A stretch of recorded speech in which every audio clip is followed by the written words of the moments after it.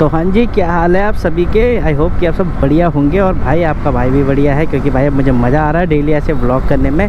तो मैंने आपसे जो प्रॉमिस किया था भाई, वो देखो, मैं धीरे धीरे पूरा कर रहा हूँ। बस, लेकिन थोड़ा सा ना एक दिक्कत आ रही है, क्योंकि ना मैं ब्लॉग तो डेली बना रहा हूँ, पर वो एडिटिंग में ही हो जा रहा है मेरे साथ थोड़ा, क्योंकि काम भी देखना और एडिटिंग भी करना एक साथ ना, इसमें बस थोड़ा सा मेरे को ना टाइम लग जा रहा है। बाकी मैं भाई ब्लॉग आपके लिए डेली कर रहा हूँ तो आप लोग बस ऐसे ही यार सपोर्ट रखना और ऐसे ही प्यार देते रहना, जैसे आप लोग अब दे रहे हो, क्योंकि मैं ना नौ बजे का वीडियो अपना सेट करके ना रख देता हूँ, और जब मैं उठता हूँ तो यार मतलब अच्छा लगता है जब कमेंट वमेंट उसमें आए होते हैं, चाहे दो चार ही आए, पर अच्छा लगता है। दो चार कमेंट एकदम से आ जाते हैं ना तो बहुत अच्छा लगता है देख के कि यार हाँ यार, कि नौ बजे मेरा वीडियो डाला है तो एकदम से भाई किसी ने मतलब कमेंट करा तो वही अच्छा लगता है। तो अपने भाई लोग हैं, सारे कमेंट करते हैं तो यार अच्छा लगता है। और जब उन लोगों को ये नौ बजे वीडियोस मिलती है तो यार वो एकदम से कमेंट करते तो अच्छा लगता है देख के। तो इससे ना क्या होता है, और ज़्यादा आप लोगों के लिए काम करे तो भाई बस ऐसी सपोर्ट और प्यार बनाए रखना। आप लोगों के लिए ऐसी ब्लॉग बनाता रहूँगा, बस आप लोग ऐसी सपोर्ट रखना।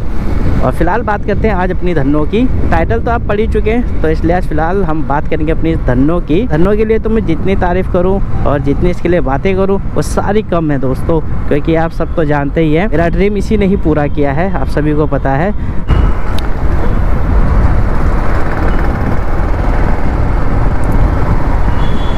तो बहुत से लोगों की गलत फहमी थी दोस्तों, जो कि मैंने क्लियर कर दी अपने उत्तराखंड राइड को करके कि एक हंड्रेड सी बाइक कितनी कैपेबल है और ऐसे लॉन्ग राइड के लिए। तो आप सभी ने उस ब्लॉग को देखा है और मैंने उत्तराखंड में कितने मौज करी है इस बाइक के साथ, ये मैं ही जानता हूँ। और मैंने किस किस स्पीड में और किस किस लेवल पर से चलाया है ना, और इसने मुझे कहीं भी धोखा नहीं दिया।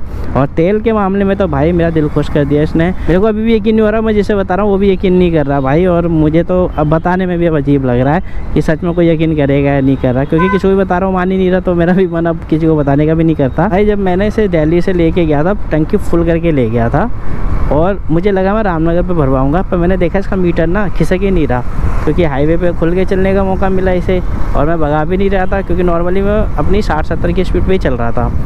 तो मैंने भाई देखा कि यार पेट्रोल की टंकी तो यार बिल्कुल फुल है और बिल्कुल हिल नहीं रहा कांटा। तो मुझे लगा यार चलो, अभी तेल होगा तो ऊपर भरवा लूँगा क्योंकि बीच में भी एक आध जगह पेट्रोल पम्प आता है। तो मैं चल दिया कंटिन्यू और फिर मैंने देखा कि भाई मैं मतलब जहाँ जहाँ पेट्रोल पंप आए थे, मैं देखा था, मेरा ना सुई हिली नहीं रही थी।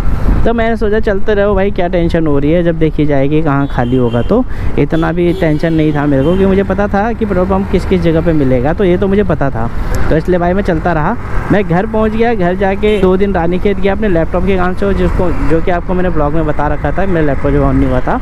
तो मेरे को दो दिन तो रानी खेत गया मैं अपने नैनीहाल से, और वहाँ से भाई फिर मैं अपने घर गया। फिर मैं दो, तीन बार तो अपने नैनीहाल घूमने गया बाइक लेके। और फिर मैं जब दिल्ली आते समय जब मैंने कैची धाम के आसपास तेल डलवाया, भाई मैं खुद शौक हो गया था कि साढ़े तीन या चार सौ रुपये के आसपास का तेल आया था मेरी गाड़ी में और मैं बिल्कुल शौक था भाई। मैं दिल्ली से बाइक को लेके आ चुका हूँ और मैंने, चलो हाईवे पे तो स्टेट चलाई इसलिए मैं मानता हूँ एवरेज मिला। पहाड़ों में दो से तीन गेयर चौथे पे तो काम ही नहीं कर रही थी, क्योंकि इतनी डीप चढ़ाई थी ना भाई कि गाड़ी बहुत प्रेशर ले रही थी। क्योंकि वहाँ पे ना टॉप गियर पे आप चला नहीं सकते, क्योंकि अगर चढ़ाई आ गई तो वो एकदम स्लो हो जाएगी ऑटोमेटिकली कोई भी बाइक हो। तो उसे दो से तीन गेयर पे चलानी पड़ती है तो उस पर ऑलरेडी पावर लगती है। तो भाई उसके बाद भी मतलब मैं हैरान हूँ कि इसका एवरेज इतना अच्छा था। मैंने तेल डलवाया तो सिर्फ़ साढ़े तीन, चार सौ रुपये का ही आया, उससे ज़्यादा तेल इसमें आया ही नहीं। और भाई मैं शौक हो गया, मुझे लगा यार, उत्तराखंड में इतनी बारिश हो रही थी उस समय, मुझे लगा मेरी टंकी में पानी चला गया, क्या है जो तेल इतना अभी इसी में ही है। पर लेकिन मैंने कहा चलो, अब जो होगा देखा जाएगा। और भाई उसके बाद मैं बाइक को नॉन स्टॉप चला के लाया था नॉन स्टॉप बिल्कुल। और दिल्ली और दिल्ली आने के बाद एक हफ़्ता मैंने भाई अपने ऑफ़िस के काम से गाड़ी चलाई। तब जाके मेरी गाड़ी का तेल ख़त्म हुआ। तो ये भाई गाड़ी लॉन्ग रूट के लिए भाई एक नंबर है। कोई भी बंदा भाई लॉन्ग रूट पे जाता है और ये सोचता है कि मुझे अच्छी बाइक चाहिए हैवी बाइक चाहिए तो भाई इस गलत में मत जियो कि आपको एक हैवी बाइक ही लेके जाना है और वही आपको टूर करा सकती है। ये गलत फहमी है और ऐसी गलत फहमी पालोगे तो सिर्फ़ आपकी जेब ढीली होगी दोस्तों। पर शौक पूरा नहीं होगा। तो शौक तो सिर्फ़ नाम का रह जाएगा वो।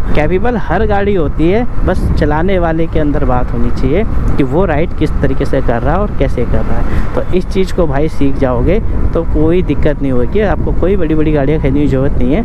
ऐसा नहीं कह रहा कि बड़ी गाड़ियाँ नहीं खरीदनी है। वो एक अलग लेवल पर है, अलग क्रेज होता है। आप उसे खरीद सकते हो। आप अगर उसे लेना चाहो तो। ट्रैफ़िक ही ट्रैफ़िक मिलेगा आज लग रहा है। क्योंकि आज मैंने नहीं भी पार कर लिया ना, वहाँ से लेके यहाँ आने तक। भाई कम से कम दस जगह रेड लाइट मिल गई है। चलो थोड़ी देर वेट करते हैं। तो हैवी गाड़ी लेना चाहे तो ले सकते हैं दोस्तों, वो आपकी एक पर्सनल चॉइस है। पर, लेकिन भाई मैं तो यही कहूँगा, इस से हमें मत जीना कि भाई हंड्रेड सी की गाड़ी टूर नहीं कर सकती है। मैं इसमें एक बार नहीं दो दो बार उत्तराखंड टूर कर चुका हूँ। मैं कैसे धाम भी गया था तो अपनी बाइक से गया था। और उस समय तो मेरे साथ प्लेन था, यानी मेरा दोस्त एक मेरे साथ ऑलरेडी था। जब मैं डेली टू उत्तराखंड गया था तो मैं सिंगल था। और जब मैं दिल्ली से कैची धाम राइड किया था, तब मेरे साथ मेरा दोस्त सोनू था। देखो भाई, ये दोनों चीज़ों में बहुत ज़्यादा परफेक्ट है। आप सिंगल चाहे सिंगल ले जा सकते हो इसे, आप प्लेन के साथ जा सकते हो तो प्लेन भी ले जा सकते हो। तो इतना लोड लेने के बाद भाई इसने मुझे कहीं भी निराश नहीं किया और मेरे साथ जब मेरा दोस्त सोनू कैची धाम वाली राइड पे गया था, तब भी भाई पहाड़ों पे भी एक जगह भी मैंने इसके पावर लेस होते हुए नहीं देखा, क्योंकि भाई इतना स्ट्रांगली चलती है ना, मस्त। बी एस सिक्स के गाड़ियों में कहते हैं पावर कम करिए, पर मुझे तो लगता है भाई पावर बढ़ाई गई है। और पता नहीं, और वैसे तो मैंने सुना भाई हर गाड़ी ड्रॉप करती है, बजाज हमेशा अपनी पावर को इंक्रीज करती है। तो भाई इसलिए मुझे लगता है प्लेटिना में भी पावर बड़ी है, घटी नहीं है।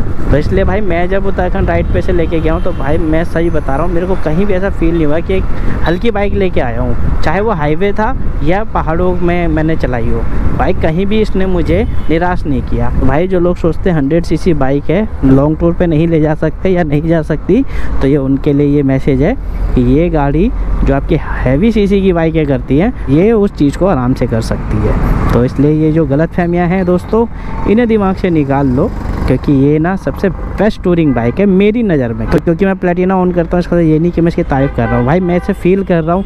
मैंने इसके साथ कैसे कैसी राइड करी है? मैंने दिल्ली की ट्रैफ़िक भी देखी है हाईवे भी देखे हैं, सब कुछ देख लिया। भाई, मैंने हिल्स भी देख लिया इसके साथ। तो खुद सोचो आप कि मैंने कितना एक्सपीरियंस ले लिया इसके साथ। ऐसे ही नहीं है सत्तर हज़ार किलोमीटर मैंने इसको चला दिया। क्योंकि इससे पहले भी मैं इसे टूर कर चुका हूँ इधर लोकल में। दोस्तों के साथ चले जाता था। उस समय मैं ब्लॉग नहीं बनाया इसके साथ। इसलिए मैंने इसके साथ भाई टूर बहुत करे हैं। तब मैंने इसे फील कर लिया था कि इसे हल्के में लेने की गलती नहीं करना है, क्योंकि ये एक बेस्ट टूरिंग मशीन है और मैं इसके साथ खुल के टूरिंग कर सकता हूँ। तो इसलिए भाई मैं इसको हर जगह ले जाता हूँ टूरिंग पर मैं कभी नहीं सोचता कि भाई मेरे को कोई हैवी गाड़ी मिल जाए जिससे कि मुझे टूर करना है। तो मैं आँख बंद करके भाई मेरा प्लान बनता है। तो मेरी धनो रेडी रहती है और मैं अपनी धनों के साथ बस राइड पर निकल पड़ता हूँ। क्योंकि इसने हमेशा मेरा साथ दिया है, चाहे वो कैसा भी रूट हो। तो इसने मेरा साथ हमेशा खुल के दिया है। ये तो बाला किला भी जाती दोस्तों। अगर उस दिन मेरे दोस्तों का प्रोग्राम ख़राब नहीं होता, वरना इसलिए मैं एंटो की स्कूटी ले गया था। अगर मेरे सारे दोस्त होते तो उस दिन बाला किला राइड पर भी जाती। तो इसका उस दिन बाला किला के लिस्ट में भी इसका नाम आ जाता। पर, लेकिन कोई नहीं तो इसको नहीं जाना होगा, इसलिए वो नहीं गई। फ़िलहाल तो आपका भाई कैसा लग रहा है? सामने देखो, हेलमेट और मेरा गोप्रो तो देखो सेक्सी लग रहा हूँ ना दोस्तों? ये थी मेरी धन्नो की कहानी भाई, जो कि मेरे को ना अभी तक बेस्ट टूरिंग मशीन लगती है भाई हंड्रेड सी में। क्योंकि देखो हंड्रेड सी की और कोई बाइक तो मैंने चलाई नहीं है टूरिंग पे। तो मैं इसे ही लेके गया हूँ। तो मेरे लिए तो यार परफेक्ट मशीन है टूरिंग के लिए। और कंफर्ट के नाम पे तो भाई मैं क्या ही बोलूँ, कोई भी बाइक नहीं मैच कर सकती इसके कंफर्ट को।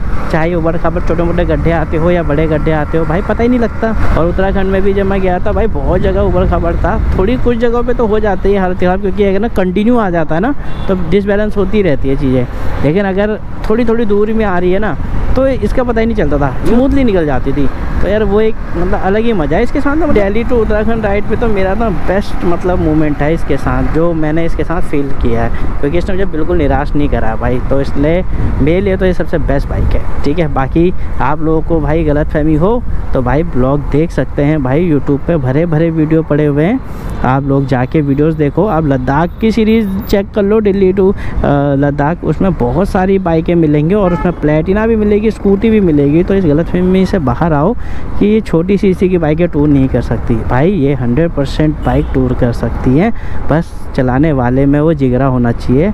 अगर आप में ही वो कैपेसिटी नहीं है और आप ही सोचोगे कि यार सौ चीज़ की बाइक है, क्या लेके जाऊँगा तो वो भी आपका क्या साथ देगी। लेकिन आप बोलोगे ना कि हाँ भाई, मैं तो जाऊँगा और इसके साथ ही जाऊँगा क्योंकि देखो भाई, कोई भी बाइक हो हैवी सी हो या लो सी हो बस आप उसको अपना दोस्त समझ के चलाओगे ना। तो वो आपका साथ देगी। जैसे इसने हमेशा मेरा साथ दिया है और आगे भी भविष्य में मैं बहुत अच्छे अच्छे टूर करूँगा। मैंने इंडिया टू नेपाल का भी टूर प्लान कर रखा है। उसमें भी मेरी प्लेटिना जाएगी। तो जो लोग गलत फहमी जी रहे हैं, वो उस ब्लॉग का भी इंतज़ार कर लेना।